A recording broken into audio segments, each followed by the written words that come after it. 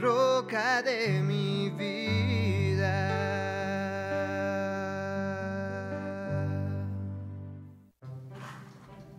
Libre para servir. El Espíritu del Señor está sobre mí por cuanto me ha ungido para dar buenas nuevas a los pobres. Me ha enviado a sanar los quebrantados de corazón, a pregonar libertad a los cautivos y vista a los ciegos, a poner libertad a los oprimidos, a predicar el año agradable del Señor. Lucas 4, 18 y 19. Cuando la esclavitud era un fenómeno normal en la sociedad, era muy común que algunos esclavos caminaran con cadenas, grillos y yugos de alguna clase mientras laboraban. No solamente la rigidez del trabajo los debilitaba a lo máximo de sus fuerzas, pero también esos yugos les causaban agonía en sus cuerpos.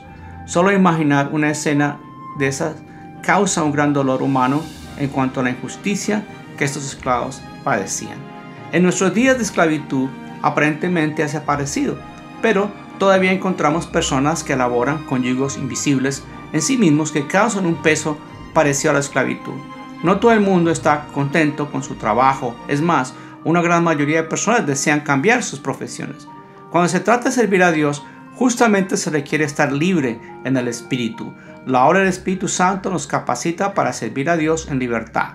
La libertad viene del Espíritu Santo. Jesucristo siendo el Hijo de Dios y libre de pecado requirió estar lleno del Espíritu Santo para cumplir con su misión. Primero que todo, María concibió a Jesús por medio del Espíritu Santo. Cuando Jesús fue bautizado por Juan, el Espíritu Santo de Dios descendió sobre él como una paloma. Fue el Espíritu Santo quien llevó a Jesús al desierto para ser tentado por Satanás. Jesús declaró la magnitud de su ministerio por medio del apoderamiento y unción del Espíritu Santo. Jesús expulsaba demonios por medio del poder del Espíritu Santo. Fue ese poder que también lo resucitó al tercer día, como la declara las Sagradas Escrituras. En conclusión, si nosotros queremos ser discípulos de Jesucristo, también necesitamos del poder del Espíritu Santo y así servir a Dios como en su preciosa voluntad.